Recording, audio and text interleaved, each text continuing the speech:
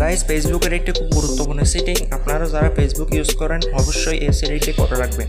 এই সেটিংটি করলে কি হবে? আপনি যখন আপনার ফেসবুক ইউজ করবেন এই ভিডিও অপশনে যখন ভিডিও দেখবেন আপনি এই এরকম স্লাইড করে যখন ভিডিও দেখেন আপনার অটোমেটিক ভিডিও প্লে হবে। এই ভিডিও প্লে হওয়ার কারণে আপনার প্রচুর পরিমাণ ডাটা খরচ হচ্ছে। গাইস এইটি বন্ধ করার জন্য আপনি কি করবেন? আপনার ফেসবুকে ক্লিক করবেন। ফেসবুক ক্লিক করে থ্রি ডটে ক্লিক করবেন। থ্রি ডটে ক্লিক করে আপনি সেটিং অ্যান্ড প্রাইভেসিতে ক্লিক করবেন। ক্লিক করে সেটিংয়ে যাবেন। সেটিংয়ে গিয়ে মিডিয়া অপশানে ক্লিক করবেন।